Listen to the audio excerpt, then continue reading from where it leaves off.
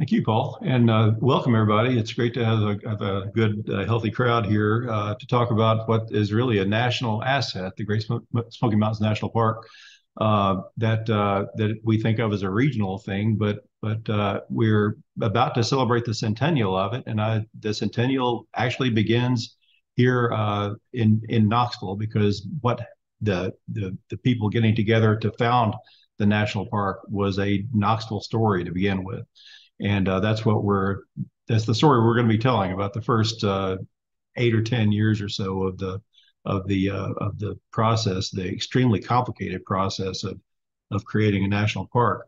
Um, but uh, we uh, we're grateful for you to to join us, uh, and and I think we'll be hearing a lot about the centennial of the national park for the next oh what 17 years or so because there's a lot of different steps involved with founding the national park, uh, and I think uh, culminating with the uh, dedication when Franklin Roosevelt came here in 1940. Uh, some some of us may or may not live to, to see that centennial, but uh, we're uh, we're we're celebrating the very beginning of it now, and we expect you'll hear much more. But today it's a mostly a Knoxville story, and we're glad to bring that to you. And I'll I'll yield to to Paul James, who's done a great deal of, uh, of, research into the Smoky Mountains and the people involved in its founding uh, on on his own, and uh, so he's kind of our our authority on the subject uh, in the office here. But uh, we we all have something to share about this. So, but I'll let uh, let Paul take it from here.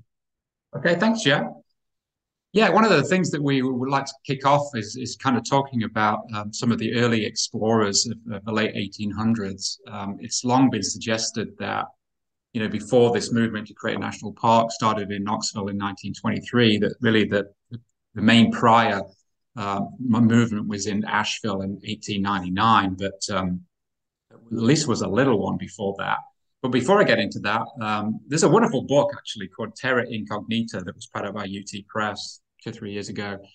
Ken Wise and Anne Bridges and, and another fellow's name I can't quite recall. Um, and it features um, you know extracts and, and uh, examples of some of the early writers. Um, obviously, people who were writing about the Smokies needed to be there, just like today. Uh, and of course, very few people were going to the Smokies uh, in the 1880s.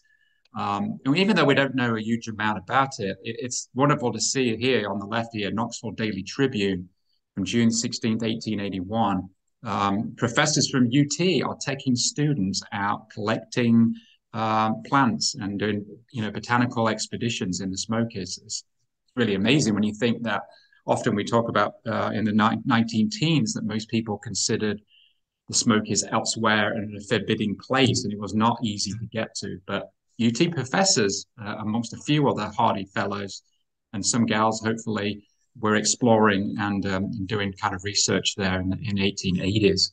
Um, then we also have Eben Alexander, which some of you may recall that Jack has talked about before. Uh, he wrote a story called The Big Smoky Mountains in uh, New York Evening Post in 1888. And then there was a one anonymous student um, from the Tennessee State University, which it, it, seems like that was UT. It was just a different uh, name of the publication then. Um, Jack, you want to interject anything about Eben uh, Alexander real uh, quick? Uh, yes, and also the, just the fact that, that, that, to underscore the fact that the Smokies were a different and uh, like almost forbidden place. It was a place that most Knoxvillians had never been to really because just going to the Smokies required some trespassing. It, it required camping overnight because just getting there was often a two-day uh, adventure, uh, and and and and you never knew what you were going to find when you got there uh, you're trespassing on people's homes, trespassing on passing on on industrial sites. Uh, but that's what uh, what it was like. And I've all, often said that as late as 1920, uh, more Knoxvillians had seen had seen Times Square than had seen Cades Cove, and that's uh, that, that's literally easy easy to prove because Cade, Times Square was a lot easier to get to from downtown Knoxville than Cades Cove was because uh, all you had to do is get on a train and get off the train and you're there. But uh, that it wasn't so easy to get to Cades Cove. Um, but uh, but I uh, uh, Ebenezer Alexander was a fascinating guy, and he was a guy that was born and raised on our our old uh, home Gallows Hill. In fact, in the 1850s and 60s, he was a I think he went to Yale, but but came back and taught classics at UT. Uh, eventually uh, migrated to UNC uh, because they had a, a, more investment in liberal arts than UT did at the time. UT was kind of going vocational in the 1880s, so he he moved uh, there. But uh, remarkable for a, a, guy who was very small in stature and and had a heart condition that eventually killed him. He died in his 50s. Uh, but he uh, uh, but he was a big hiker and he was a big he would sometimes walk all the way from here to Chapel Hill uh, which is amazing long walk. But he was an early explorer of the Smokies and was really wrote this great piece about about getting around the Smokies as it was in, in 1888 uh, on foot uh, mainly. Um, uh, but the, this is the same Ebenezer Alexander, by the way, that eight years later was the U.S. ambassador to Athens and played an important role in in uh, starting the first uh, Olympic Games in history in 1896. Uh, he was one of the very first uh, financial contributors to the Olympics and uh, was an earlier kind of coach of the uh, of the U- the U.S. team. I think the United States had a team partly because uh, of Ebenezer Alexander's influence in the Ivy League schools, who sent their best athletes to Athens for that for that purpose. But you never think of a classics professor having such a big effect on on international athletics, but he was a, a, an exception in many ways. He, by the way, is buried at Old Gray Cemetery, and if you come to the uh, the tour on Sunday, you'll see his his interesting grave there. It's also Jack. We were just talking a few minutes ago. It's also interesting that of the three articles right here, he's not calling it the Great Smokies. He's calling it the Big Smoky Mountains. Yeah, yeah, yeah. yeah. So this idea of the Great Smoky Mountains is still not necessarily coalesced as a, as a proper term that we know today. Yeah. So, you know, I was looking into uh, the background of the 1899 movement to create a national park in the eastern United States or the southern Appalachians, and uh, surprised to come across, uh, you know, seven years earlier in 1892. There's a couple of newspaper clippings. I don't expect you to read them. Uh, you know, obviously you can't read them uh, just on the screen, but I'll highlight a couple of things. Um, you know, it says here on the left, this is in August. I'll read this one first because the, the headline's a little better. You know, a good suggestion comes to us, to the paper, uh, concerns us locally and nationally, the idea to establish a reservation in the Appalachian chain, such as the national government has established in the beautiful Yellowstone Park in Yosemite. And Yosemite comes back into the story in, back in 1923. Um, you know, it's wonderful in this way as the sequoia and redwoods forests are in, in California are in their way and far more beautiful and interesting. And then, actually, just a few weeks earlier, magnificent timbered section suggestive of a national park um, on the slopes of the Big Smoky. Here you go, Big Smoky again, as the name comes up, and adjacent ranges are seen in all perfection the characteristic traces of the northern and southern states. Obviously, this was an idea that people were talking about, um, obviously inspired by the great national parks out west. Um, but it wasn't until seven years later that this national park convention was announced in the Asheville uh, Daily Gazette uh, in November of November 23, as you can see, at 1899. Um, and I've often read that you know when in 1923 when the when the current you know the, the movement that we're celebrating 100 years ago coalesced that you know it'd been you know over 20 years um, since the last major idea and even though that's largely true looking through the newspaper record, uh, it's definitely there was an idea that morphed constantly over the years, but still seemed like it held on from 1899, if not 1892, all the way maybe to about 1915. It seems to like peter out a little bit after then. But um, it was formed in 1899 in Asheville by Asheville Chamber of Commerce. Uh, and they selected a group of 25 vice presidents as kind of advisors and regional representatives. And it's interesting that Professor, Professor Charles Dabney, then the current president of UT, is notably listed um, on the list of representatives. And, and the park, it, it, didn't really be that specific, but it, it seemed like they were pr proposing it to be located in the in Western North Carolina region, not necessarily um, in, in Tennessee. But you know, even a, a, year later, uh, the Asheville Group invited the Knoxville Chamber of Commerce to come over um, to be more involved in it, but they demurred, they deferred. Um, in 1900, what the Knoxville Chamber of Commerce was more interested in was this idea of an army post. It was a thousand acre, as they called it, instructional camp to be purchased by Knoxville and deeded to the US government. And it was going to be called Sanders Hill National Park. So, uh, this was going to be based on the ruins of the 1865 Civil War fort. But like many things that are, that are proposed, ultimately efforts uh, didn't come to anything. But even a, a year later, um, it was like the the, the, the, park was going to be called the Appalachian Park. That was kind of a new name that Knoxville and Asheville were were starting to advocate again for, and even going to the uh, you know even within a year or two was suggested that it might constitute about two million acres straddling North Carolina and Tennessee, with about three quarters of a million uh, of acres in North Carolina, so more more in Tennessee. And they was also proposing that um, the park headquarters would be in Knoxville, and that a 35 mile road built from Knoxville to the park boundary. And you know, this is in a time when you know the roads were still not good, and we'll get into that um, in, in, a few minutes as well, because that's a big part of the story: automobiles and roads. Um, but like again, it was derailed. Uh, Secretary uh, Woodrow Wilson, with the government, um, who later became president, as you know, um, he, he didn't he wasn't able to fund uh, the investigation of, of, the forest conditions uh, that the Congress were asking for. So we're going to move uh, two years uh, later, just about the, you know the year that I was talking about, I won. And Jack, you want to talk a, real briefly about the transition from um, President McKinley to Theodore Roosevelt? Yeah, it, it's remarkable that, as we know, uh, uh, William McKinley, uh, who was very popular in Knoxville, by the way, came here several times, uh, was assassinated in uh, September of 1901. Uh, and unexpectedly, his kind of unpredictable vice president became president of the United States. And in his first three months of, of in office, as in the White House, he raised this idea of a, of, as we know, he's always connected to the national parks and already had been but he was proposing the idea of a, of a Southern Appalachian uh, National Park uh, or, uh, or, or, or protected area.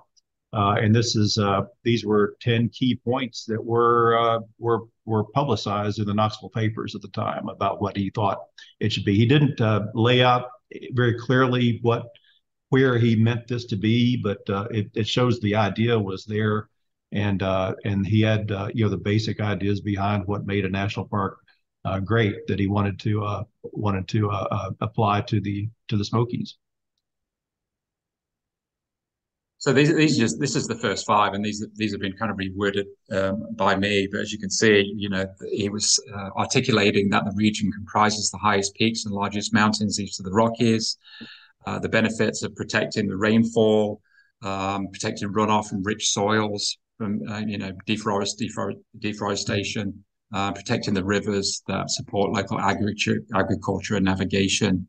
Um, and then on the second slide here, if I can advance it correctly, um, you know, preserving these hardwoods that have unparalleled, unparalleled richness and variety. You may have heard that there's more tree species, right, in the Smokies than there is in Europe. It's, it's, it's an incredible uh, place.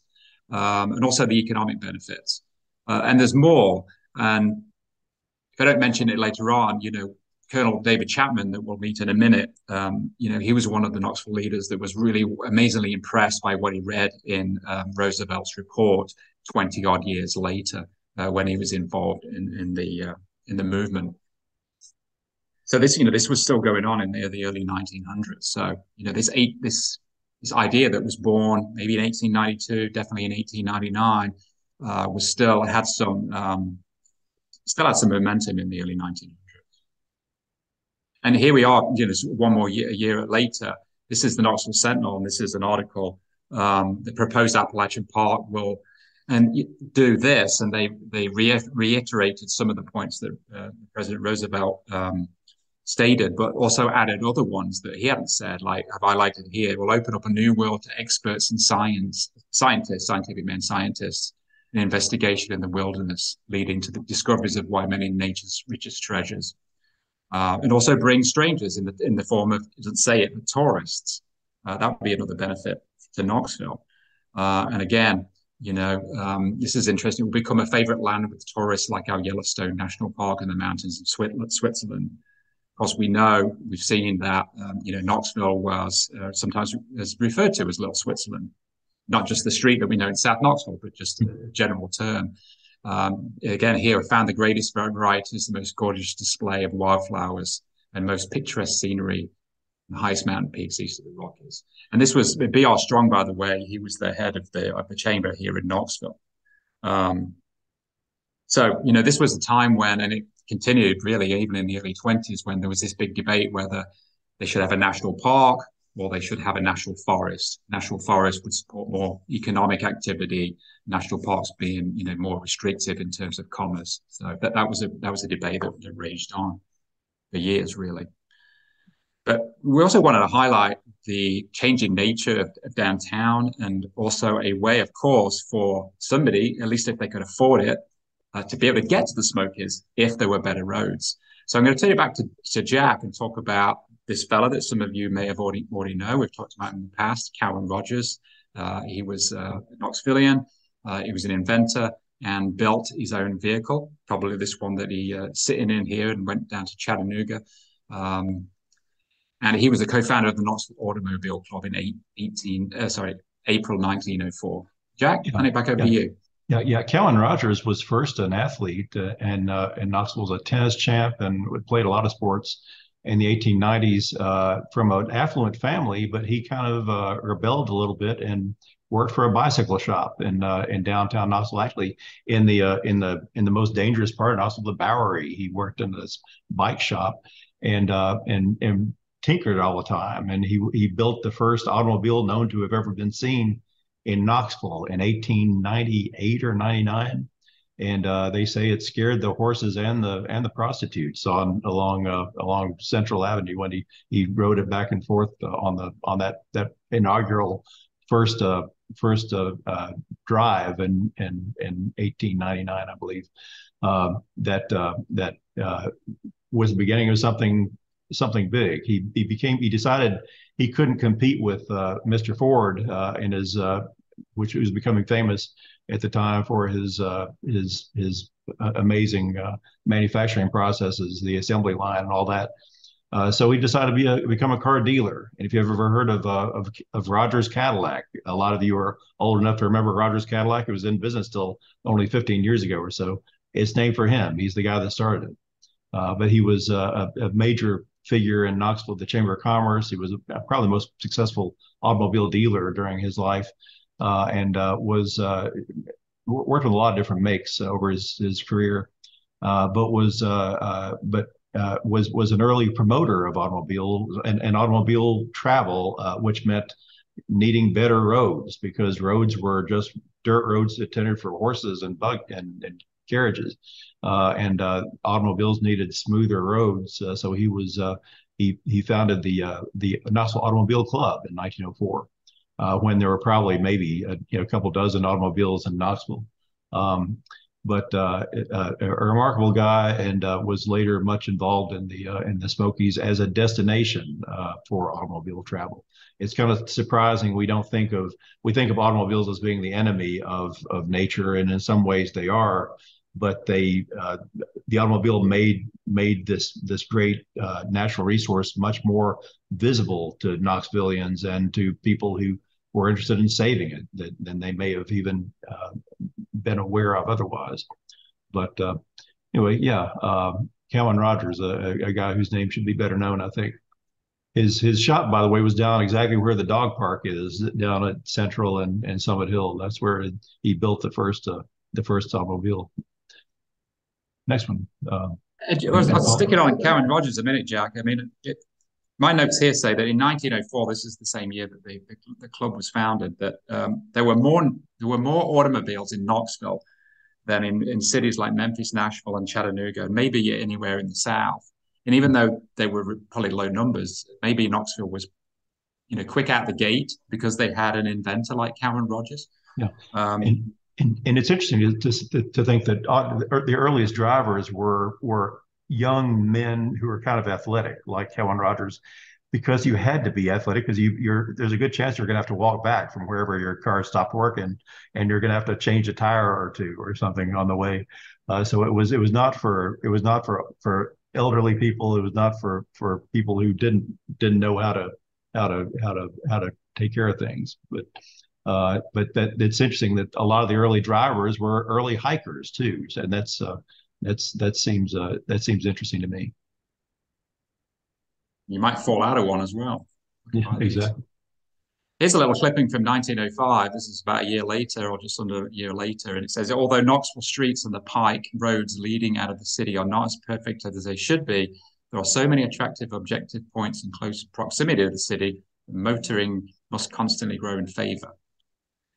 It kind of slowed down a little bit, actually. The, the, the kind of club kind of almost disbanded within a year, uh, but, it, it, bounced back in 1906 uh, when there was apparently 70 automobiles owned in Knoxville. Um, and one of the places they like to go to is Strawberry Plains. They presumably get into Strawberry Plains or in Strawberry Plains area uh, because it was kind of a flat topography. Um, that was that was a big driver of, of a place where they um, they like to drive. But you know, they did. Cowan, Cowan Rogers himself said that the many hills and climbs add interest to the trips and serve to break the monotony that is bound to result from a spring spin along a perfectly level country road. And here's another one here. Automobile in Knoxville is in May of 1906. Automobile in Knoxville is to be taken up with more interest than ever. Steps are now being made to reorganize the club and to revive the interest, which died out to a certain extent owing to the condition of roads. So obviously roads was just a big deal, you know, around Knoxville and probably, uh, you know, undoubtedly uh, was a factor in, in people spending a lot, probably a lot of money. Again, the only people could afford roads were people who could afford it. Um, it changed into the Knoxville Automobile Association in 1909 uh, with kind of different leadership. Uh, it was about about 100 members, uh, you know, by that time. Let's see what's next. Well, we, we came up with a couple of pictures. This is probably around about 1910, I guess. Um, I'm sure all of you will be familiar with this uh, this spot. Uh, today, you know, it's Gay Street uh, with the little uh, intersection with Union Avenue and the old Miller's uh, building, as you can see, just left of center. But you can see, you know, pretty early cars on the left. You've got uh, we call those those whole uh, little horse-driven cabs or the hacks, maybe they called them, and you've got the street lines going down the center of the road.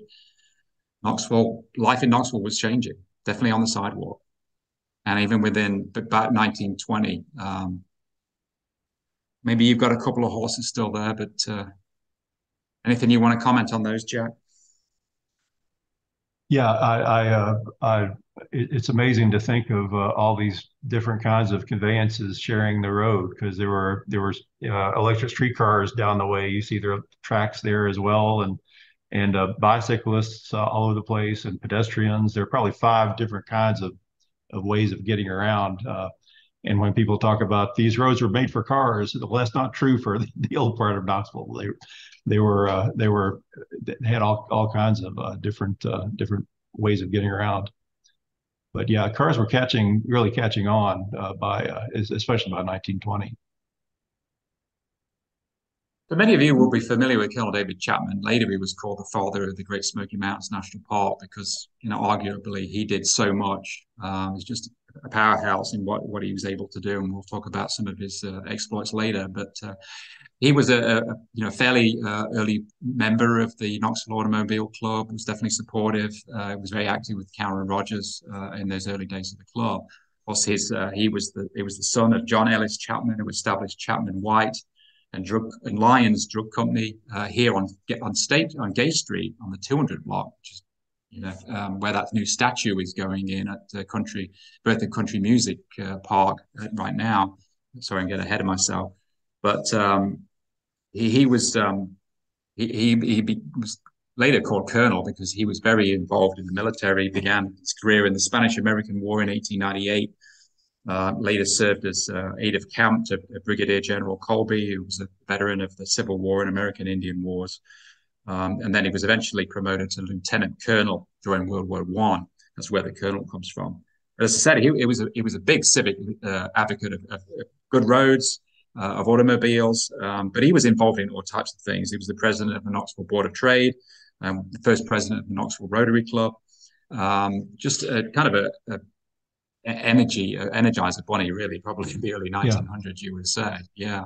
Yeah, yeah, he was. Uh, it, it, despite his appearance, but he looks very mild mannered, and he was not a he was a not a tall guy uh, too, but but he was a uh, he was a, a, really aggressive, driven guy. That everybody remarked about that. That he was that he was he wanted to get things done and didn't didn't care what was what was in his way. That was what his uh, kind of approach to the problems is. And the the creation of a national park was a was a major problem that needed somebody like uh, like Chapman.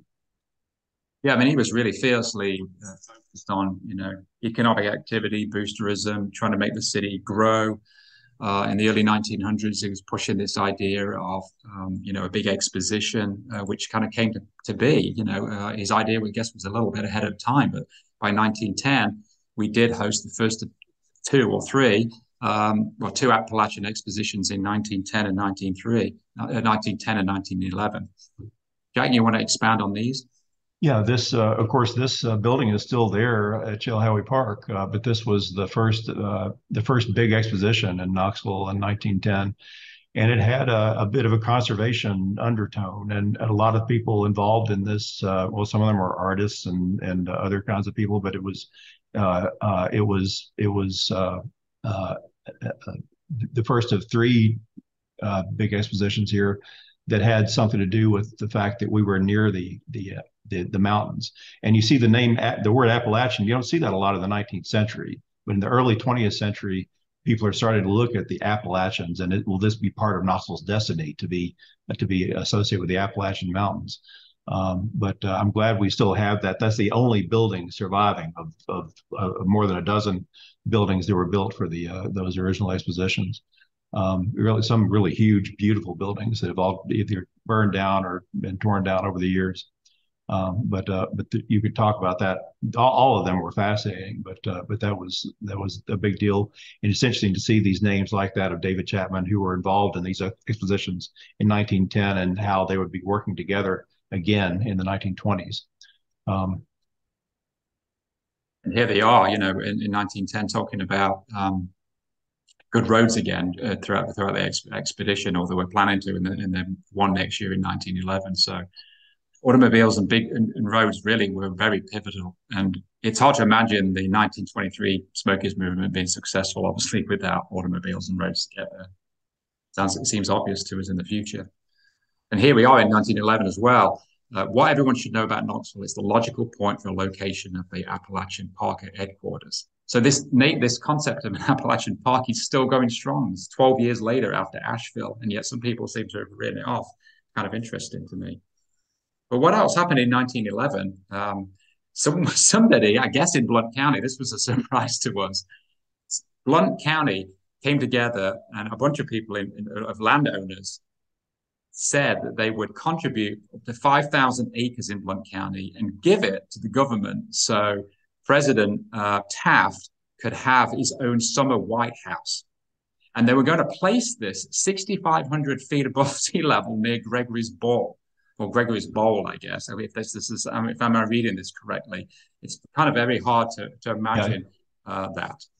And one of the things that they offered was to build him an inclined ra- railroad to get him there. I didn't realize this, but Jack said he was quite a hefty fellow, as you can maybe get a little glimpse of him here in his Knoxville visit on the right he, he was probably unlikely to hike uh, uh, Gregory Ball, but uh, yeah, I, am not sure the typesetter was was was on the ball, so to speak, uh, uh, that that day. Because you see, I, I, noticed on my on my typewriter, uh, Z and W are not too, Z and X are, are not too far away, or actually the next door to each other. So, um, but uh, Nosville um, and uh, and Gregory Ball, they probably just heard that and just oh, yeah, Nosville. Yeah, yeah yeah, they were well, overworked some, uh, journalists.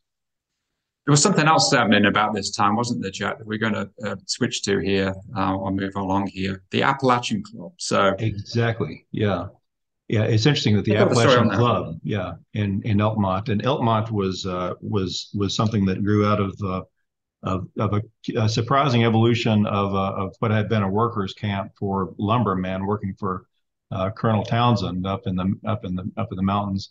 Uh, and uh, as he moved to different camps, they evacuated one camp and moved to a, built another one.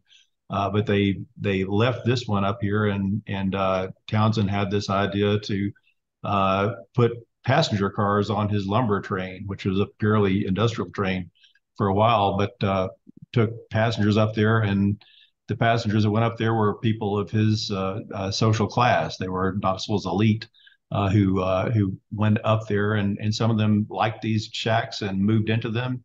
Kind of went slumming a bit, and some it fixed them up a little bit in some cases. But that became what we know as as Elkmont. Um, and uh, this was another this was a, another way to get to the mountains, uh, but just that part of the mountains. So the the you know trains didn't go everywhere. There was a train that went to Gatlinburg and a train that went to Elkmont sometimes. It was just occasionally that like the uh, Elkmont special just ran on Sundays, you know, and that was and didn't run all year. It was just during the summer mainly.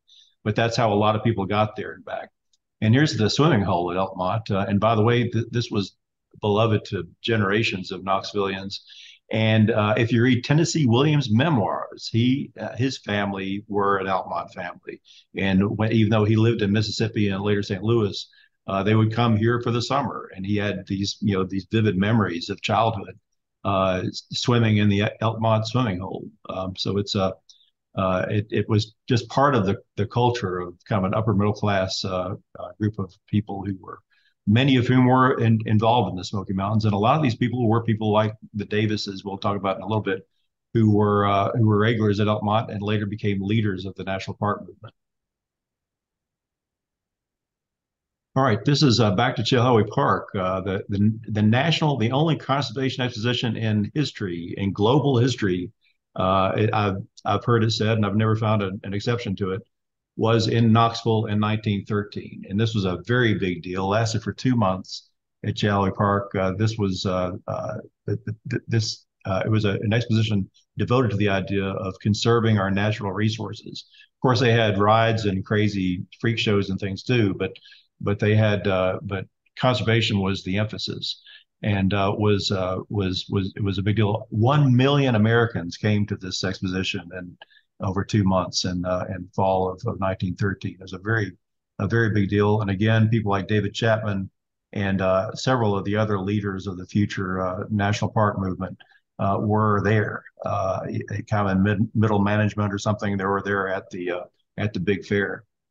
This was the biggest exposition in Knoxville, the biggest event of any kind before the 1982 World's Fair. Anything else, Paul? Yeah, we have the Mountain View Hotel. Is this the right place? Uh, yeah, that's that was a good place for you. Yeah, what uh, I think in 1918 uh, in Gatlinburg, that was another uh, another entry, another evidence of interest in the Smokies, which had been this distant and kind of foreboding place, uh, thanks to automobiles partly, and thanks to also to the little train that went up up near there. Uh, the Mountain View Hotel became a became a thing and became a way for uh, Knoxvillians to get to the Smokies uh, uh, more easily and and to and to start seeing what what a great a, wonderful resource they they are. Um, but that's but that's part of the story as well. Gatlinburg is is is part of the story as, as is Elkmont. Next one, please. Yeah, so now we're about to get into the, you know this almost 100 years ago, this movement in 1923 and how that started. But we're just going to pause a moment and just kind of recognize people that we know of that were going to the Smokies, you know, between 1890s and 1923. Let's just look at a few people here. Some names you will know, others you may not. But um, of course, Harry Ijams is no surprise. He was a great um, supporter of the outdoors. He was a naturalist. He was a commercial artist. But for my, you know, and I've researched quite a bit and written about the Ijams family, but he would he, he was going to the Smokies in the in 1894 is the earliest record that I know. That's pretty early uh, compared to most of the other regulars that we associate with the uh, movement for the Smokies in the 1920s and 1930s. The guy next to him, I'd love to, we'd love to know much more about him. Um, he was a professor of botany at UT. He was a photo- photographer. Um, but beyond that, we don't really know much about him. Um, there is an Essary Street or road in Fountain City. Is it named after him? I'd love to know that. Uh, if anyone has any idea about him, um, one of the things that uh, is enduring for him is if you are familiar with uh, Horace Kephart's book, Our Southern Highlanders, at least the reprint that's I think has been out for several decades now. Uh, the cover of the chimney tops was photographed by by Samuel Essary. So his, his, his, his artistry is definitely uh, still being seen by hundreds and thousands of people a year.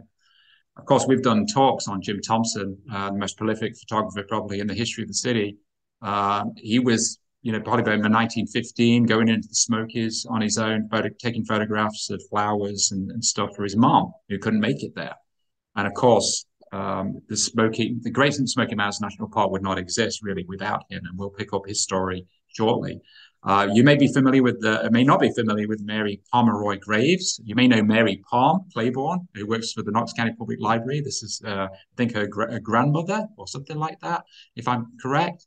Um, she and another lady hiked Mount LeConte. I think it's the first females that we know of hiking in the Smokies, hiking Mount LeConte uh, in the summer of 1916, and they left this little piece of mirror on one of the trees, um, which was later verified that that's how they knew that they had hiked it. So I uh, wanted to recognize her.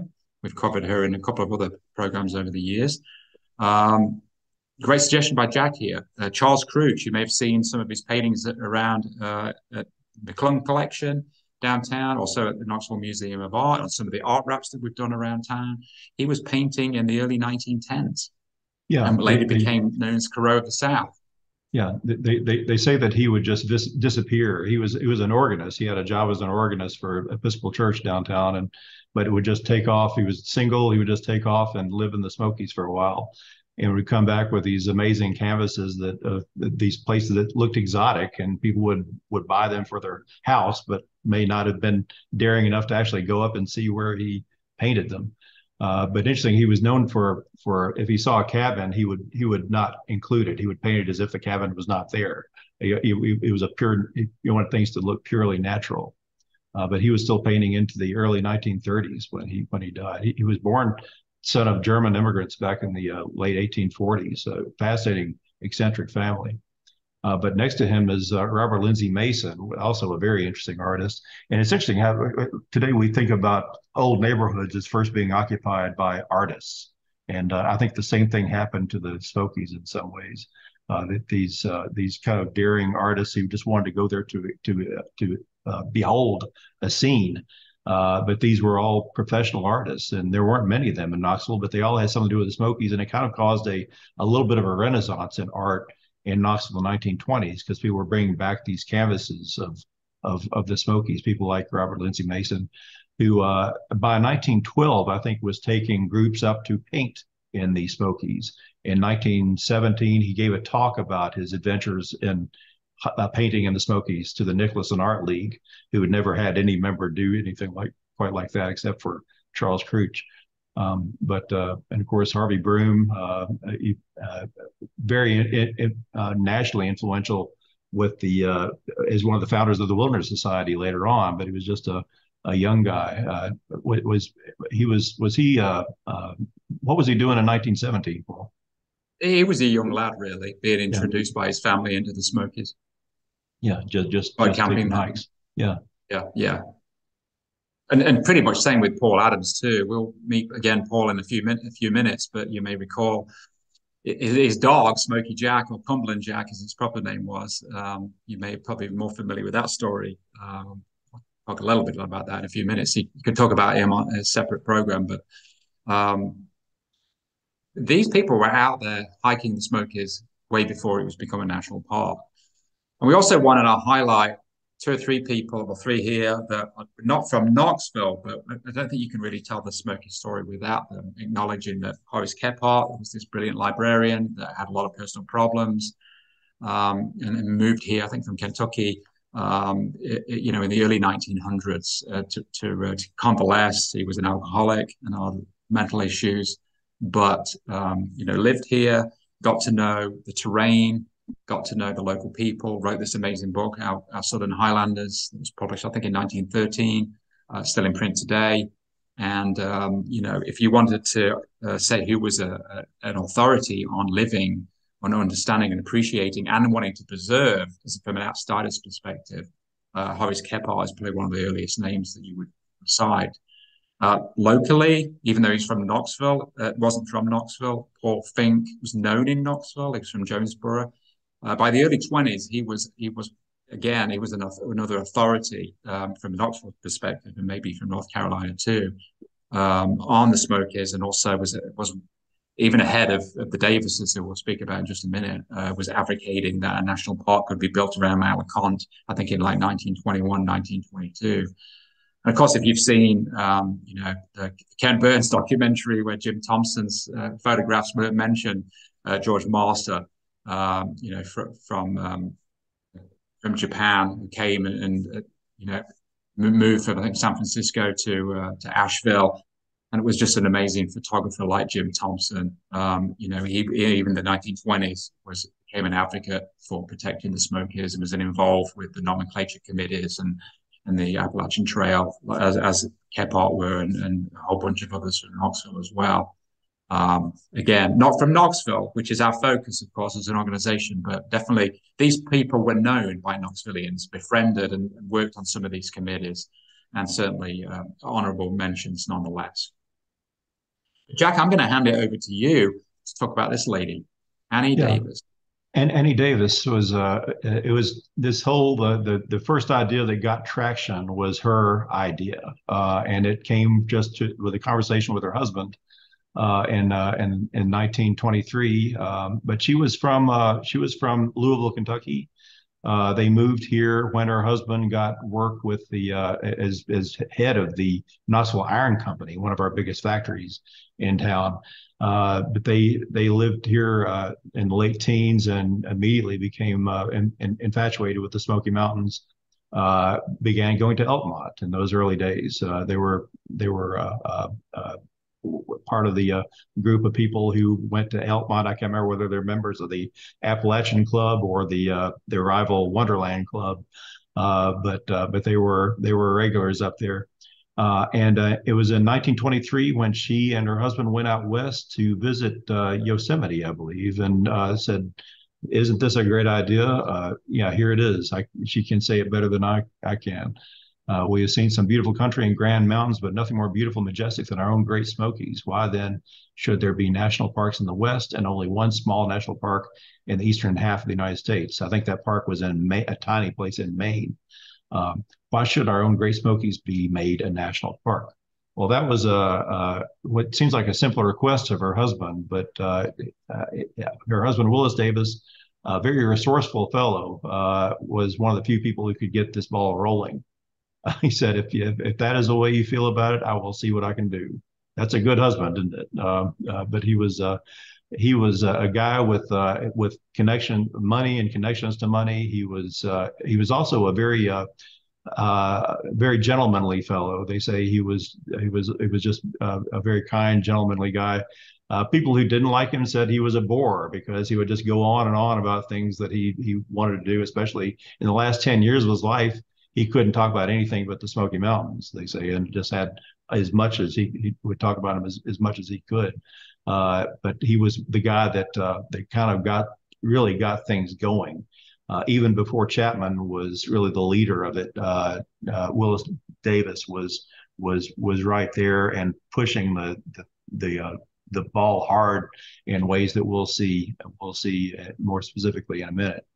But Davis, they have a, a, a I think a ridge or something named for them in the in the Smokies. They're they're remembered, but not as well remembered as they they should be. Davis uh, uh, uh, David Chapman said that Willis Davis should have a monument in Knoxville uh, for for the uh, the major efforts that he he accomplished in in building the park. Which, as you see with his dates, he didn't actually live to see uh, the park formally open. Of course, it, the park was had trails in it. I think even had a ranger by 1931 but was was not really uh, celebrated as the uh, national park that it that it was and that it became in the 1930s. Uh, next it really should be the father of the Great Smoky Mountains, shouldn't he? Rather than Chapman, perhaps in a way. In in, in a way, I mean, he was he was the very first one. I, I think Chapman did a, a, lot, a whole lot more hard work than anybody else did, uh, probably in, in the 1920s and early 30s. But uh, but but Willis Davis was was the very he was the godfather. We'll call him the godfather. The, the, the yeah. I mean, it's amazing to me that, you know, he would, he said to his wife, that's the way you do it, I will see what I can do about it. You know, probably in June, by, by Christmas, that they had an organization. I mean, it was amazing. Within five or six months, he did his work. And the hmm. next clipping we will see here um, he would, you know, he, it's in the newspapers. He's he's already been he's already sold the idea to J. Will Taylor, who's the congressman from Tennessee's second district, to be to advocate this in Congress in the next session of Congress. And this is what November the second. This is what less than two weeks away from a hundredth anniversary. Yeah, um, yeah. Wherever you want to put the flag in, you know, we're in that ballpark right now. Yeah, yeah. Taylor was uh, was our, our part of our unbroken chain of Republican congressmen since the the Civil War. He was not a Knoxvillian. He was from Loudoun County, I believe, uh, but he had a uh, a uh, uh, uh, yeah Mount Davis. Um, thanks, Cindy. I was trying to remember. There's a, a Davis Ridge, but also a, a, Mount Davis, and I think they may be named for husband and wife. Um, but J. Will Taylor was um, from Loudoun County, but he had his election headquarters on Market Square, and he kept it at the old uh, Gold Sun uh, Cafe that uh, was the Greek run cafe on the on the corner there that some some people may remember.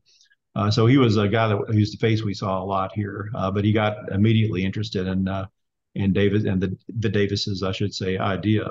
Um, by the way, the Davises, uh, a little bit surprisingly, considering they were pretty wealthy, uh, were living in an apartment building in Fort Sanders at the time that they made this proposal. The, uh, uh the Laurel Terrace apartments, which are still there and still apartments on the corner of uh, Laurel and 17th Street, is where they lived. They later lived in uh, on Lyons View in a bigger house that from which they could see the Smoky Mountains.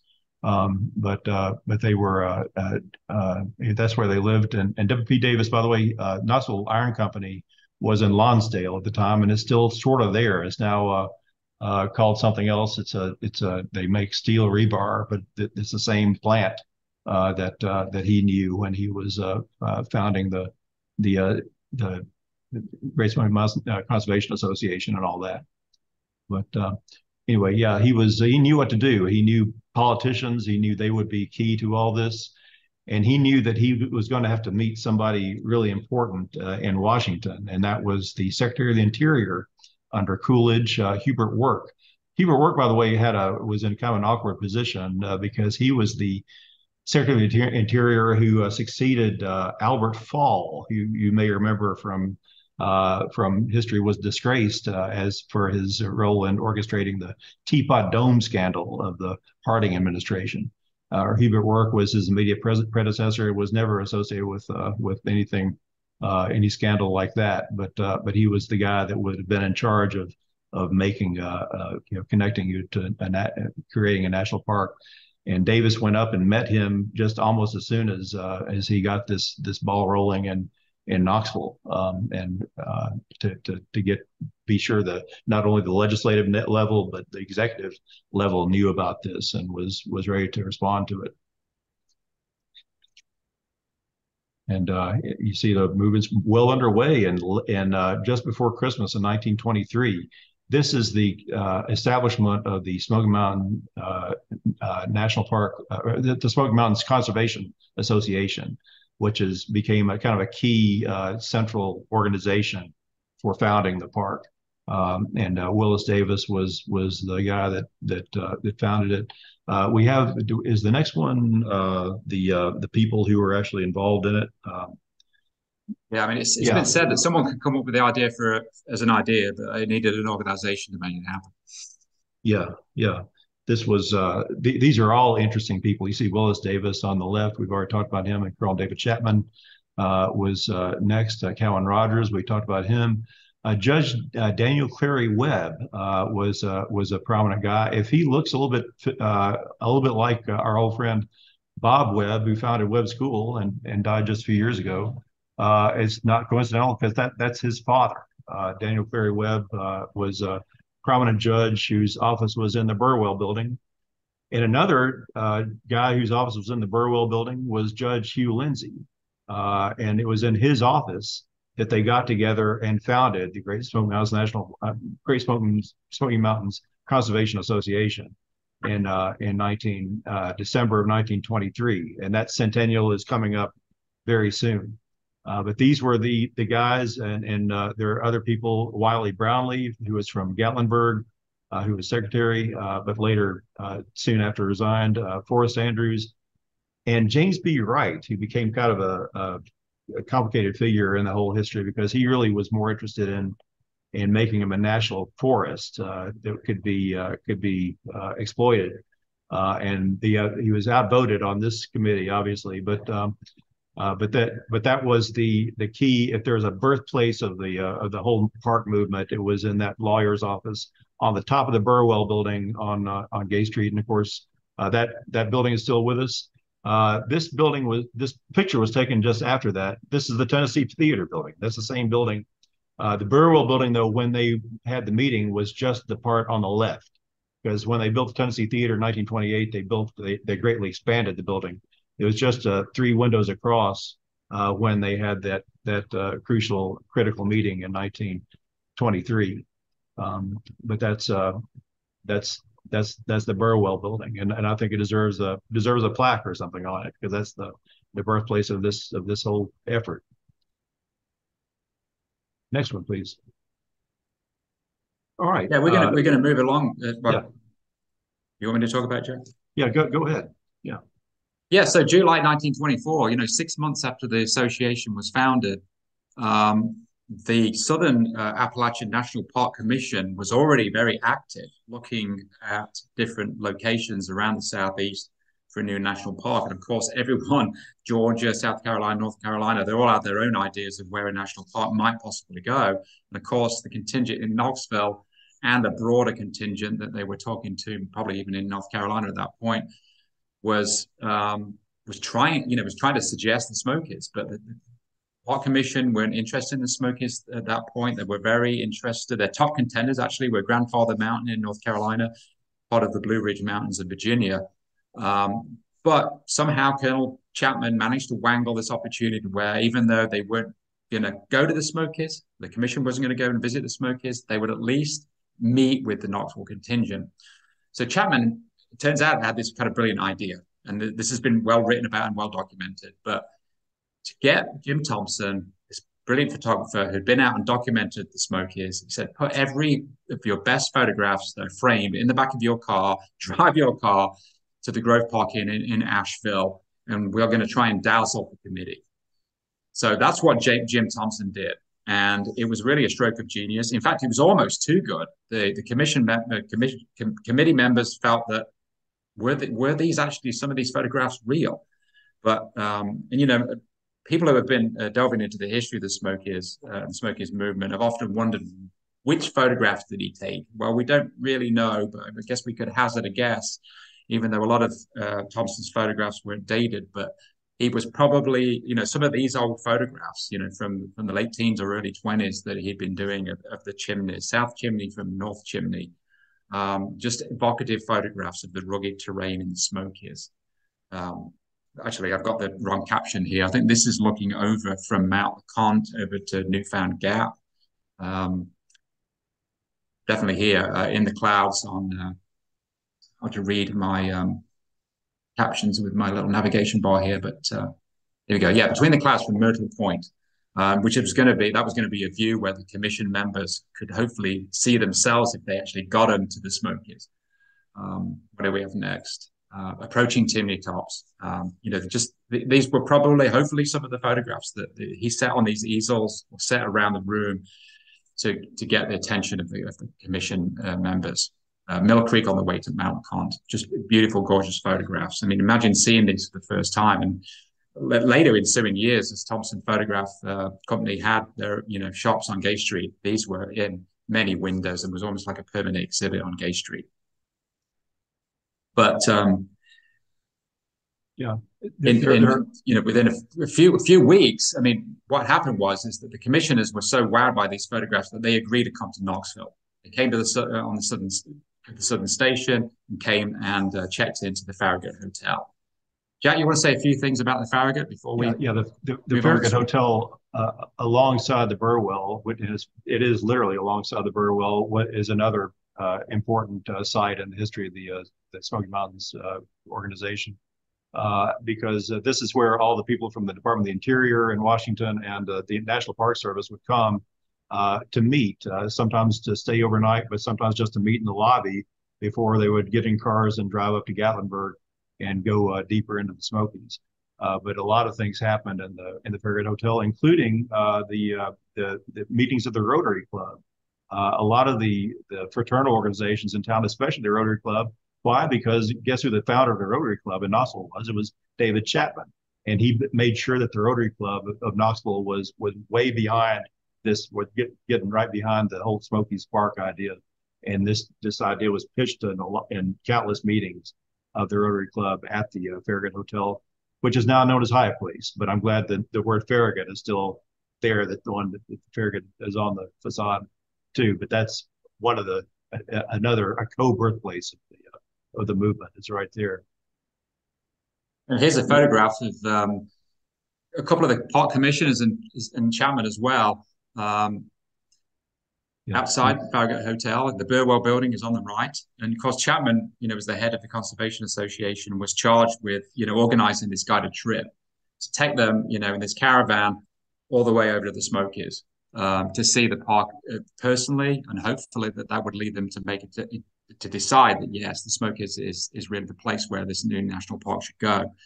Um, here's a zoomed in photograph, a really interesting photograph. This actually interesting. The Keystone Film Company that volunteered to, uh, or maybe even were going to be paid to um, to film and apparently they did. They accompanied this contingent to the Smokies and filmed it, but the, the, footage was lost, or they never delivered it. There was a court battle, but that footage, as far as we know, whether it's still out there, has never been seen. Um, and we don't really, I don't have any photographs of that trip, but um, we certainly um, Chapman was the ringleader. Uh, he had identified the Mountain View Hotel. That was a picture that we just looked at. That Jack was talking about in Gatlinburg, where the party would stay. Um, and he uh, organized uh, Paul Adams, who we met just a few minutes ago, to be the trail guide. Again, Paul Adams, as a fairly young lad, had been obsessed with hiking and exploring and camping on his own in the Smokies. So as a young man, he was really a very, uh, from, from Knoxville, was a very experienced trail guide. Um, and he was hired by Colonel Chapman um, while he was working at Crouch Florist, Brockway Crouch, as a business on the corner of Gay and Church, essentially where the uh, the rowboat statue is today. Um, and he didn't. This is Smoky Jack. You know, this is a famous dog that had these saddlebags, as you can see in the photograph. That was the next year in 1925, is when he got uh, Cumberland Jack. Um, but he had a previous dog, and um, even old uh, uh, the the editor, the very old editor, uh, William Rule of the, of the, Knoxville Journal, which had you know in the Journal building across the street, um, used to love and come and pet Paul Adams's dog. But Paul was really uh, was instrumental, along with like Wiley Oakley um, and others, to, to lead this group up uh, from you know Orchard Grove in um, above uh, Gatlinburg, uh, up Rainbow Falls Trail um, to camp the first night on Mount LeConte, and then go down uh, the other side onto Alum Cave. I mean, there were no trails really, not the trails that we see today. If you go up Mount LeConte, it's it's a pretty it's pretty hard hike, isn't it? Uh, there were no trails. They were probably fighting uh, you know, rhododendron, briar, and everything else. So, um, you ahead of myself there. But if they really, it was a very difficult uh, expedition. Uh, even Willis Davis um, got injured on it coming down um, off the peak of Mount LeConte uh, near uh, Alum Cave and had to be stretchered out. Um, but it, everyone uh, from the commission was just really blown away by the Smokies, and they realized that Jim Thompson's photographs were not fake; they were real, and it was just an amazing, fantastic area. And not too long afterwards, the Smokies was recommended as a location to be in the national park. And that's really when the work began. This wasn't like they were going to set aside these vast tracts of, of forested area to become a national park. They had to be, it, it was six, 6,600 different parcels of land that had to be acquired. And that's really why Colonel Chapman is called um, you know, the father of the national park because he was essentially a bulldog and, and you know, and, and fought uh, amazingly hard over many, many years to make it all happen. And as Carlos Campbell said in, in his book that was written in 1960, Birth of a National Park, that there were just hundreds of times when the whole thing could have caved in and the whole dream to have a national park uh, would have been over. Um, but it really, another pivotal moment was this, this expedition into the Smokies. Now we're going to move a, a couple, uh, the following year in 1925, And Jack's going to pick up the story with Annie Davis as a member yeah. of the Tennessee House of Representatives. Yeah, yeah. Annie Davis didn't just have a great idea and then and then ease into the background as you might expect of a woman in the 1920s. Uh, uh, but she was uh, they had the vote, but many women weren't used to taking the lead in big projects. But she she was an exception. She ran for public office and was elected to uh, to, to represent Knox County in the state legislature and her number one she had some some uh, uh, women's issues that she wanted to deal with but she also uh, had uh, was her main project was the national park.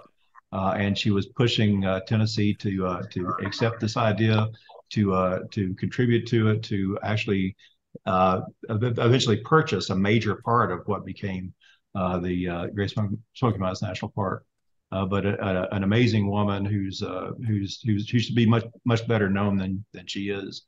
Um, but uh, Bryn Mawr grad, by the way, uh, uh, was uh, was kind of stood out in a lot of ways. she lived in Knoxville with her husband. I think she was living on Lyons View by the time she was a representative. but later, after her husband's death, she moved to Gatlinburg just to be closer to the to the to the park, and lived there a long time. So Jack, she was instrumental in presenting this bill to acquire what seventy-eight thousand acres, seventy-six or seventy thousand yeah, yeah. acres that belong yeah. to the Little River Railroad. Yeah, and it failed in the House the first time, the first vote, and she had this great idea that she would um, encourage and kind of rally every all the legislators to come into the Smokies. And here we have a great photograph. I've never seen this one before today for the McClung collection of the legislators in Townsend boarding the train or getting off, one of the two. Um, and that I was just should, a really pivotal moment. I, I, think we should do that again. It might improve their perspective on things. But uh, and what happened? It was successful. Yeah, yeah. Austin Peay was governor, and uh, and and and finally signed the bill. Um, and uh, very influential governor. Uh, and uh, and and there there they were. She was. He invited her to come witness it. That's her on the on the left. Yeah, right here, third from the left. Yeah course, around about this time, there was this notion that um, I think it was the federal government or the, said that you know to establish the park that 300 um, 300 acres had to uh, 300,000 acres right had to be acquired for the park to to, to exist. But Colonel Chapman um, kind of helped him talk them down to about 150,000 which made it much more manageable so in, this is from 1927. By the way, this is uh, one of those fold-out maps that you could get in the back little envelope pocket of the of the Smoky Mountain Hiking Club. Uh, in would have been 1928. This is an illustration by um, Harry Ijams of what the proposed Great Smoky Mountains would have looked like. And you can see on the left there hotels and camps. Uh, this is kind of uh, more of a serious drawing than Harry Ijams often did, but um, really gives you a good sense of it, of this you know, what, what was envisaged as the Appalachian Park became Great Smoky Mountains National Park. And people were hiking it uh, clearly in 1927, uh, even though before it was official, people were enjoying it and experiencing it and developing trails. And of course, a big part of the story is, and this was something that Colonel Chapman was heavily involved in personally and, and close up, was that this big obstacle of what to do with the mountain folk that lived there. They'd grown up there, they'd lived there from generations. They didn't want to leave. They didn't buy into this notion of, yes, we've just got to evacuate and all the tourists were coming flooding in. And this is a sign that Colonel Chapman was faced uh, in Cades Cove. I can't remember the year, but I think it was late 20s, early 30s. He says, Colonel Chapman, you and host uh, notify um, let the let, let the cove and people all one get out, get gone, and 40 m limit. I think that's 40 miles. Stay away 40 miles. Yeah. And by the way, there were just some of the of the uh, between five and six thousand people were were were moved from to make the room for the uh, for the Smokies, and some of them were happier than others about the deal that uh, that they cut with them. Chapman claimed that he tried to be fair with uh, and and give them a good a good price. I don't know whether uh, whether research would uh, would would prove that or not, but uh, but they it was a major moving of people. We did that a lot. I think we'll remember in the in the future that in the 20th century we moved people around a lot. Uh, um, um, so it, it, with urban renewal and uh, and uh, the TVA projects and, and other things. Yeah, some of the some of the mountain settlers were um, they they were off they, they they had to either sell at full market price or sell at a lower price with the right to live in their homes on a lifetime lease. Tough situation. Yeah. But Ch- Chapman was um, pretty instrumental in another big way, wasn't he, Jack? That this idea was to, uh, with Colonel Chapman, along with uh, Arno, Arno Cammerer, who was then assistant director of the National Park Service, um, to solicit a large gift from John D. Rockefeller Jr., um, who, who had met with Cammerer uh, several several times on their many trips to Washington D.C. Uh, and New York on on park business. Uh, even though um, Chapman wasn't you know, the guy that actually made the ask, he re- really was commended um, with the success of it. And um, they they asked John D. Rockefeller Jr. for five million dollars, which was was essentially a matching gift that helped uh, the Smokies become a certainty. Um, and as Chapman uh, said in a newspaper article uh, much later in life, that uh, when he was told that this the, the gift was going to come through, that Rockefeller had agreed to make this gift. Um, he, he, had a he had a tough thing that he had to do. He had to sit on the news for about six weeks. they said he about killed him. That he had to wait six weeks before they made the announcement. But make, make the announcement they did. Oh, by the way, here here he is with uh, with Arno Cammerer Cammerer on the right, who's assistant director, and also uh, Horace Albright, uh, then the director of the National Park Service. So uh, Chapman was, you know, was probably a bulldog in Knoxville, but he was probably a bit of a bulldog and a, and a, and a canny negotiator in, in DC and New York as well. So uh, again, the father of the national park in, in action. Um, but here's a, here's a great uh, great uh, headline front page that Jack found yesterday of, uh, of the Rockefeller gift to Shaw Smokies Park. Of course, it wasn't just five million dollars. Um, you know, kids in, in Knoxville were giving dimes and pennies, and uh, they Knox, uh, the Smoky Mountain Association raised like hundred thousand dollars in two in two days when they launched this big campaign.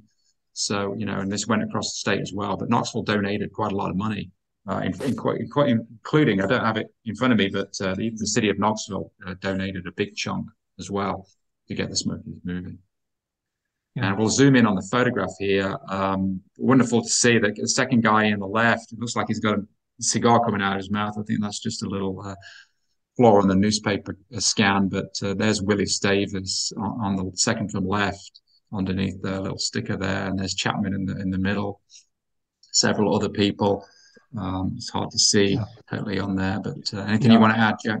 Uh, yeah, I was, I was, uh, I think one of the Knoxville papers said this was the most momentous day in Knoxville history uh, when they announced the Laura Spelman Rockefeller gift of five million dollars for uh, for the Smoky Mountains because it meant it was going to happen and to look at the people who are here. We have a governor, a former governor or two. Uh, we have Willis Davis. We have uh, uh, Chapman, of course, uh, Governor Horton, um, uh, William S. Shields, the guy that uh, was behind Shields Watkins Field at, at, UT just a couple years earlier. James Fowler, who was a major mover and shaker here.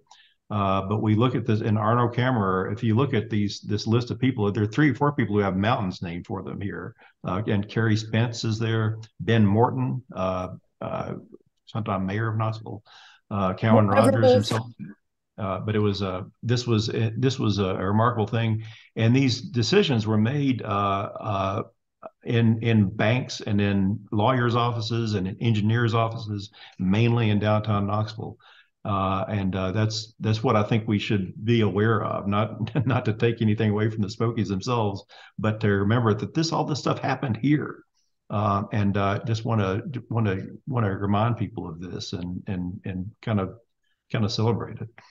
Um, but uh, in the next one, we have a picture of where this happened, uh, and it was this is the City National Bank, and this building is still it's not completely demolished. We think it's now. Uh, it was later, uh, just a few years later, uh, redesigned as the S and W cafeteria, and uh, is now what uh, Aveda Beauty Beauty uh, School. So it's it's still there, and you can pay homage to it as you as you please as you go by. But that was that was where this amazing assemblage of of, of important people got together to mainly just to uh, formally accept the uh, the Rockefeller gift that that meant uh, once and for all the Smokies is going to happen in some way, way, shape, or form as a national park. We also want to acknowledge, you know, this that the uh, founding of the Smoky Mountain Hiking Club in uh, in October 24, and they're they're just on the cusp of celebrating their own 100th anniversary in the next year. Uh, but so many, you know, this was an opportunity that so many Knoxvillians took to get involved uh, in, in, a great organization that explored the, the Smokies and helped build trails, um, and still very much alive today. And this is a photo, one of uh, Thompson Brothers' uh, photographs from, from 1926. It's just, uh, and there's a wonderful repository of, of Smoky Mountain Hiking Club. It has its own digital collection now uh, at UT Library, which is wonderful. This is one of this is actually from the Great Smoky Mountains National Park Archive. Uh, I'm not even sure where Uncle Tom's cabin is myself, but I always love this photograph. I don't think you could. I don't know. Maybe you could replicate it today. Which is wonderful. But a lot of people like Carlos Campbell and, um, and Jim Thompson, and a lot of them were, were, members of the Smoky Mountain Hiking Club and Brockway Crouch. And if you're ever interested in seeing photographs, yeah, go to uh, UT libraries and, and uh, you can see the old um, really informative handbooks uh, that some of these uh, maps and stuff that we've got today. But again, uh, I know Cindy Spangler's with us today. I, really appreciate you, Cindy, and uh, the great work you've done with the Smoky Mountain Hiking Club and, and uh, preserving your own history of the club. Um, I want to mention Jim Thompson again, uh, you know, because in the late 1920s, even before the park officially became established in 1930, he was very active with um, the nomenclature committee with the Great Smoky Mountains Conservation Association and helped walking the Appalachian Trail. And he was regarded really as, as, as the workhorse behind this, you know, uh, nomenclature of mapping the Great Smokies and understanding the names and avoiding duplication. And uh, he was just really cited as, being instrumental in that and worked very closely with, with Paul Fink uh, and and Masa, George Masa, and, and Horace Kephart as well, it's kind of straddling uh, state lines.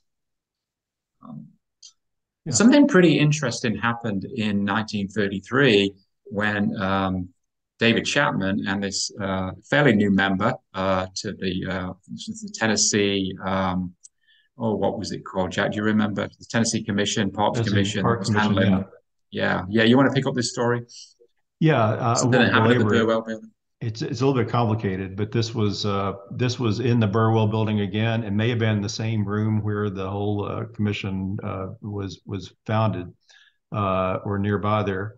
Uh, but George Dempster, uh, who was not yet famous as the inventor of the the famous internationally famous Dempster dumpster, was was was a, a, big shot. He was a mover and shaker.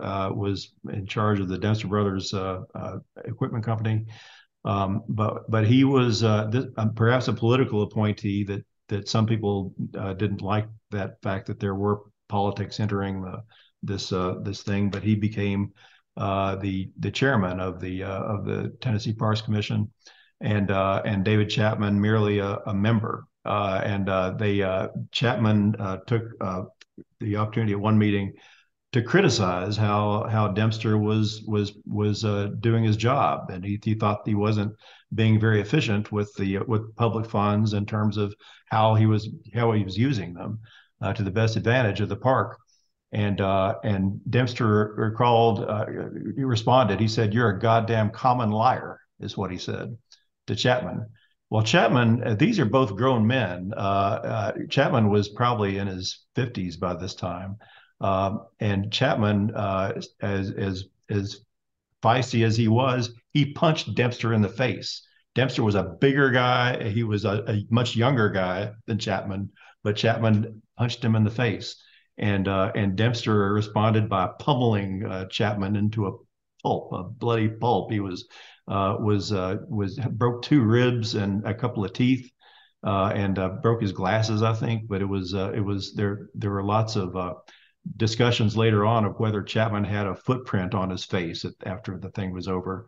Uh, but it was, uh, but Chapman was was was had to uh, see a doctor, and his doctor said, "You need bed rest. You need." Chapman actually checked into the Andrew Johnson Hotel and just treated like a hospital for a for a week or so. But he came back uh, before, he, but he wasn't quite done. He actually the meeting adjourned. He came back when they re reopened it and and had a few more things to say through his uh, through his swollen mouth. Uh, but uh, it was a it was a a, a weird incident that that shows us that these weren't all all just merry comrades, you know, all on the same page. They there were lots of disagreements among them, um, and uh, especially with Mr. Wright and and also Mr. Townsend uh, as things went on. Uh, but this was uh, uh, this was uh, an interesting moment. Also, it's interesting to notice the date of it, January 10th is just weeks before after the election of Franklin Roosevelt, but weeks before his uh, his inauguration on March 4th. Uh, and uh, it was about money. And after uh, the New Deal kind of took over parts of the uh, of the Smoky Mountains idea, and they they made things a lot easier for for applying money from the government directly into the uh, into the mountains, and also opened up something called the Civilian Conservation uh, Corps, which which made made it made it possible to use federal workers to to build uh, build uh, uh, build bridges and also trails and things in the Smoky Mountains. But this is right before that. This is still during the Republican Hoover administration, and they were still uh, the, Repub- the the Coolidge Hoover years was a time when they said we love the park idea, but you're going to have to raise all the money for it, folks. But that changed a bit during the uh, the Roosevelt administration, and and the Roosevelt administration really polished it. Uh, and and even though it was already a park more or less it was it was uh, they they they they kind of made it a lot easier on people like like Chapman uh, to uh, to to say this this is done and we're proud of it. So the following year, Jack, it was official. He, it was officially opened. Well, I mean, it was already open, but uh, you know, the official chronology is that it became official in 1934. And I don't know, I don't have a picture today, but if you if you Ever read Smoky's Life? It's a great magazine by the Great Smoking Mountain Conservation, uh, not associate, Great Smoky Mountain Association, separate organization for the conservation organization.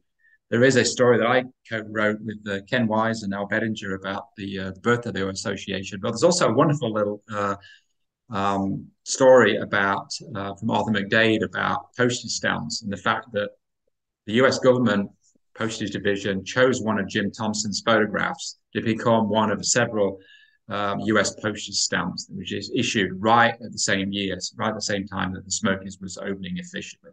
So that's great recognition for the Smokies, but also great recognition for Knoxville's own Jim Thompson.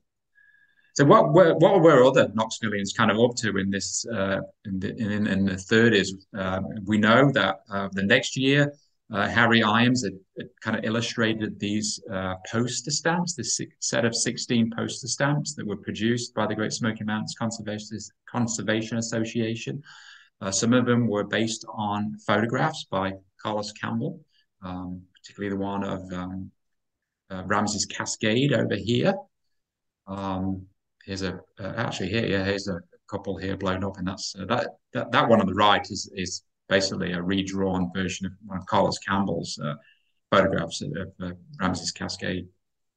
Also in 1937, Laura Thornborough, um, writing as Laura Thornborough, um, published uh, her book on the Great Smoky Mountains. This is the second edition with the front cover illustrated by Harry Ijams again. But uh, I don't know how many times this was uh, was reprinted, but this was uh, really kind of almost like a Bible of uh, almost like a travel guide, but a, very strong narrative uh, guide to the Smokies. Uh, she was a, um, film editor, as uh, Janine Winfrey is writing about in our next uh, edition of Knoxville Lives, Knoxville Lives 5. That will be out by the end of the year. Janine works for, for TAMIS, and she's done some great research into Laura's early days as a film editor, one of the first female editors, film editors of the country. Was also a journalist for the Knoxville News Sentinel, uh, and a wonderful writer and a, a, great photographer as well. So she was very multiple, multi-talented, um, a great addition to the uh, the literature of uh, of the Smokies uh, in the 30s and beyond. I think it was in print of the 70s, maybe even later. Um, But in 1940, on September the 2nd, 1940, uh, the Smokies eventually was dedicated. Jack, you want to talk about the dedication and kind of wrap us up? Yeah, I, I, a lot of people see this and think this that that Roosevelt founded the Great Smoky Mountains National Park and it was a whole New Deal project, and it, the New Deal made it better. But as we know, uh, it was mainly a grassroots thing that started uh, with uh, with a, a, few people here who who wanted to make it happen, and it was a massive. The hard part was done before the Roosevelt administration. That was acquiring the land.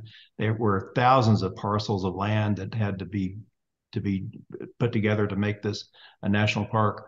Uh, and uh, but anyway, this was uh, this was kind of the the the cherry on top of the of, of the, the thing, and I think we can finally say it all this work was done and it was worthwhile, and uh, and it's uh, it's uh, and I think that's that's probably one of the most famous pictures of of Smoky Mountains and and and in in history, the one that you see a lot. But I think it's it can be misleading if you don't know the rest of the story because it's been 17 years of hard work on on lots of people's parts, uh, especially uh, the Davises and uh, and Chapman and and others uh, to make this uh, to make this a reality. Um, but uh, anyway, yeah, they were. Um, it was a a, a, a great Herculean effort with a lot of a lot of setbacks and cautionary tales and uh, that uh, that I think is is is a story worth telling, and we're glad to be here. And uh, uh as part of uh, what I think is going to be uh, many events in in months and years to come, celebrating the centennial of the Smoky Mountains National Park. We just have a couple more slides. I just want to mention this was a photograph that was in that article. members from Knoxville, from the Great Smoky Mountains Conservation Association, with the North Carolina um, contingent. Um, We've got Jim Thompson here on the left, uh, far right, really, the, kind of between the front row, front row and the back row is uh, is Arthur Stupka, who was uh, I don't know if he was the first park ranger, but he was certainly the first park naturalist in the in the very early 30s and very well renowned. Um, the lady in the front, Sadie Patton, uh, thanks to our board member Georgiana Vines asking me who she was. Well, she was uh, a historian from Hendersonville, North Carolina. Um, and she was very involved in preservation over there and been on this committee for several years. Um, and at the back here, on the back uh, second from left is, is Carlos Campbell, and we kind of want to end on him just for the fact that uh, for for year, you know for several years in the in the late fifties, he was paid uh, by the Conservation Association to research how how the national park came together came together, and it was published by UT Press in 1960, Birth of a National Park. It's still in print. Um, might seem a little dry to read it, but it's it's a really sort of wonderful, uh, amazing book um, of, of, how the national park came to be and the nuts and bolts of it, as, as you were, as it were.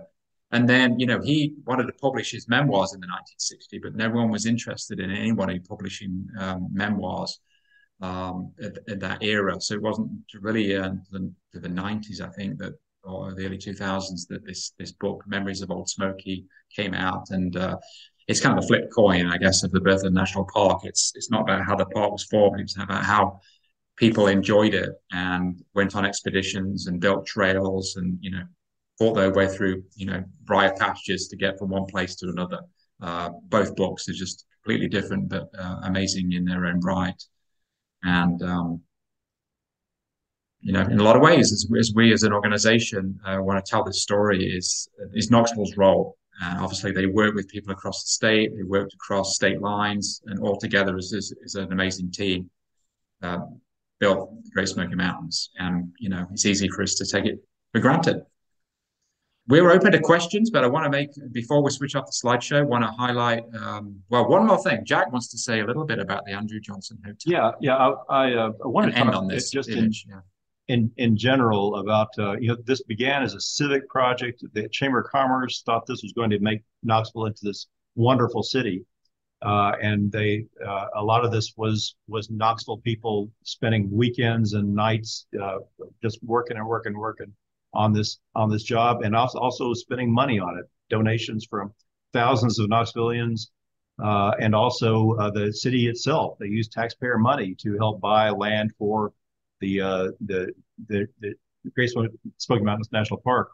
What did it result in? Did it result in this uh, this great uh, boon? Well, uh, you can look at some things like the Andrew Johnson Hotel, which I doubt would have been built if not for the anticipation of the uh, of the uh, Smoky Mountains tourists that they were expecting and and got for many years. That was a very busy hotel for a, a few decades, and also Henley Street Bridge, uh, something that was built by the city taxpayers, but it was but it was you know it was built because they knew it was it was going to lead to this grand new national park. Um, but that was uh, all these things were were happening, and and I think Knoxville did for 20 or 30 years enjoy to some extent the, the results of this. Uh, but uh, but then of course, well, in the 1970s, uh, the, the, Knoxville was no longer the gateway to the Smokies. It was Sevier County and Blount County had their own hotel rooms. There are hundreds and hundreds of thousands of hotel rooms closer to the Smokies than uh, than Knoxville is. Uh, so that's that's different now. And another funny thing is that when they the the national park uh, was officially announced as as fully done in 1934, although they kept making some some touch ups after that. Um, uh, it this was a time that Knoxville was really declining in many ways. It wasn't just the depression people came here in 1936 and said, "What a dump the city is! It's, nobody's paying attention to anything." And it's it's kind of ironic. And we actually, of course, in 1947, John Gunther said, "This is the ugliest city in America," uh, and and he wasn't the only one to say things like that. In fact, most press Knoxville got in the 1930s, 40s, 50s was was pretty bad. And Knoxville actually lost more than 10% of its population in the 1950s. This is not the uh, the supercharged city that they saw in the 1920s. Why?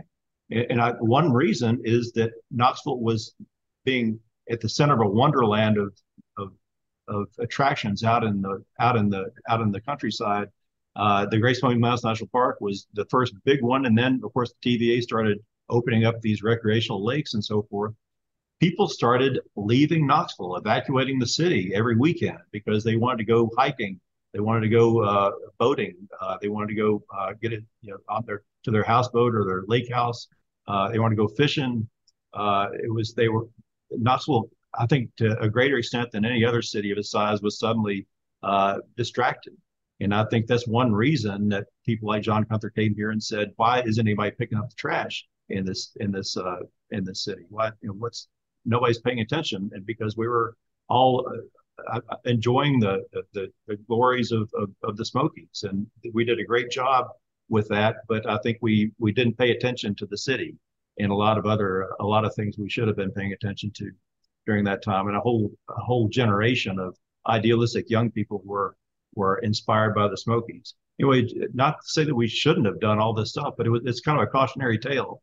Uh, anytime you have a city that's devoted to improving something that's 40 miles away. Um, but uh, anyway, it's uh, that's just uh, another part of the story, and uh, we're we're happy to tell to, to, tell all of it, warts and all, and, and wanted to would love to hear uh, hear your your thoughts and and anything. Uh, of course, this isn't complete. We're just scratched the surface. I've got the names of 150 other people in my notes that we didn't get to. But thanks for joining us tonight, and come join us for some of these other things as well. Appreciate it. Any any any comments or questions? We do have a question on the chat, Jack, about yeah. um, many problems with the lumber company there. Did they own the land or just own it? Yeah, I'll, I'll take a stab at the first half of the question, perhaps. I mean, I, th- I think it's complicated. You know, Wilson B.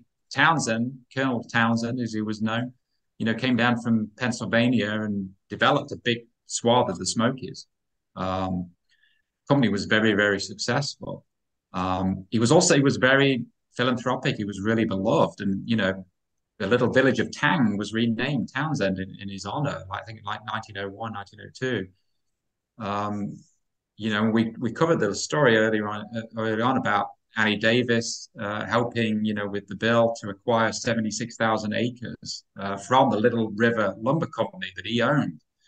He did, he sold it for like I think three dollars an acre, which seemed like a fantastic price at the time. But the proviso was that they still owned the rights to continue to remove trees. I can't remember for how long after, but it was quite a bit. And I think Jack was telling me earlier today that I think maybe at the end it became a bit contentious. Uh, I'm not sure the details of that, so it's it's, yeah. it's complicated. And there were probably you know other landowners.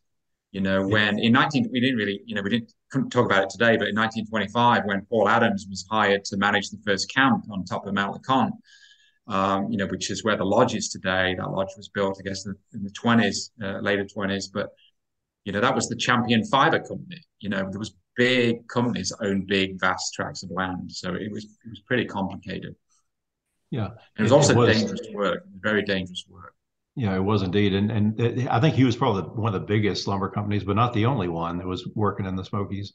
Um, but that was there was a big. Uh, uh, he he's both a hero and a villain in the whole story uh, because he uh, he he got people interested in the Smokies at Elkmont to begin with, and then and then uh, um, uh, was but later on did make possible the these land sales for still profitable land for you know timberland.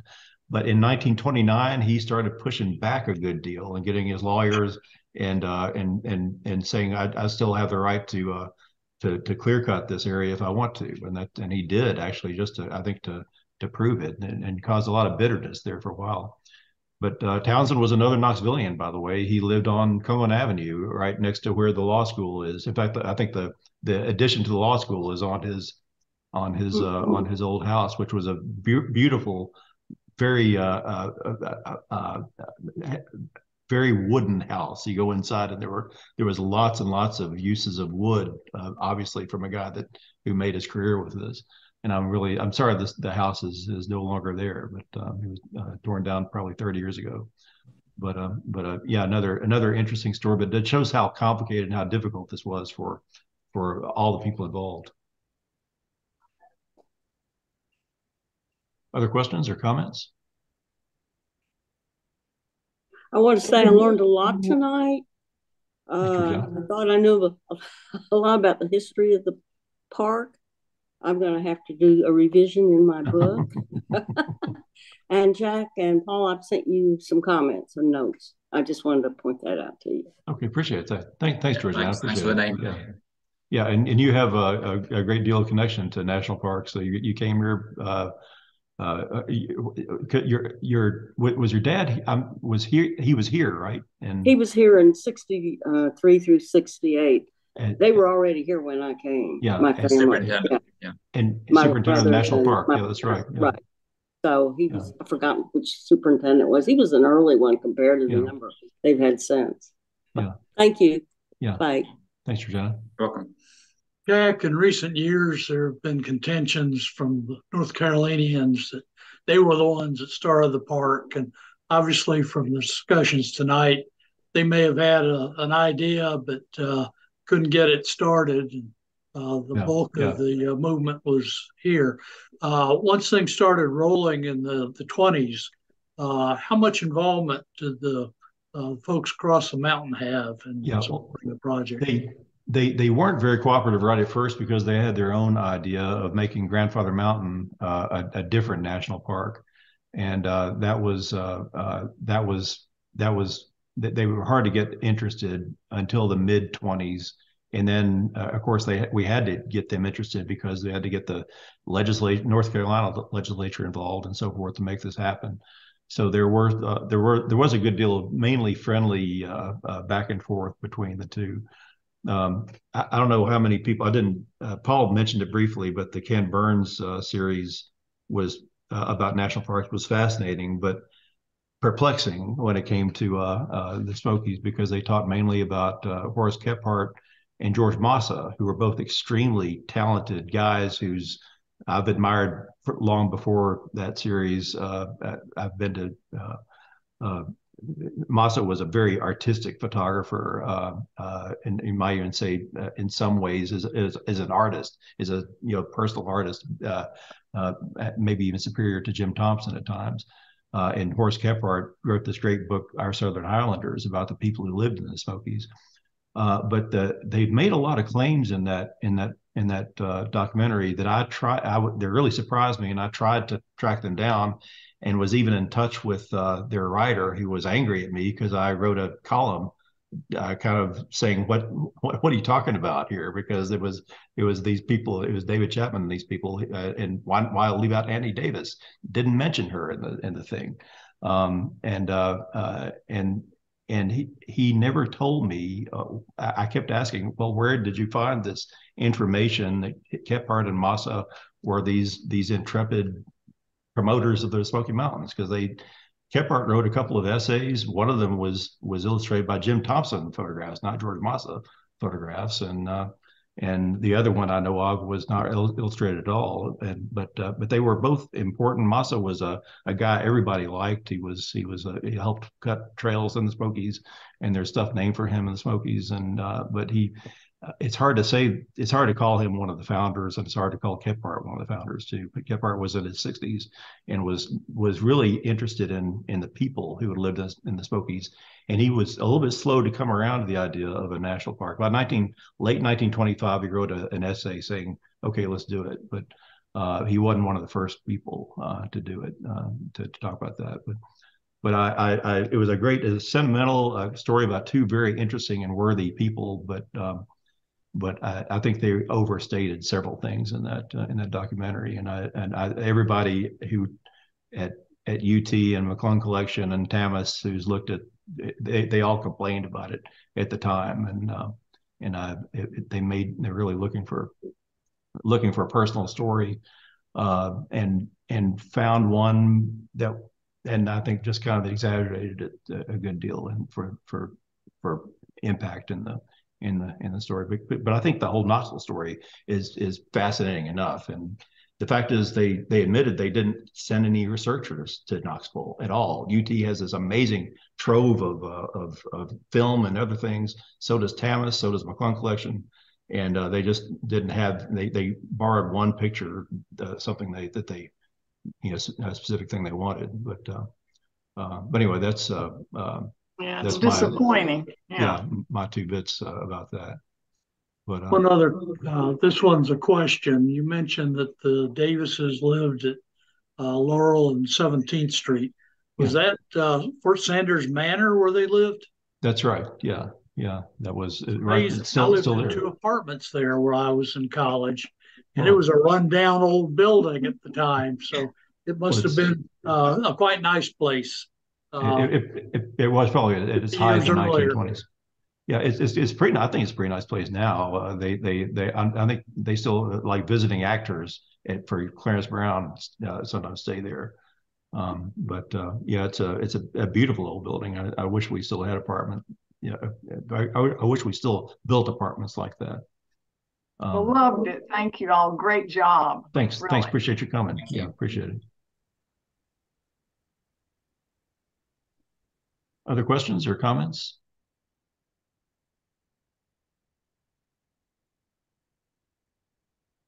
All right. Well, appreciate you. Yeah, thanks for joining us, and uh, we'll we'll see you uh, next time. I hope.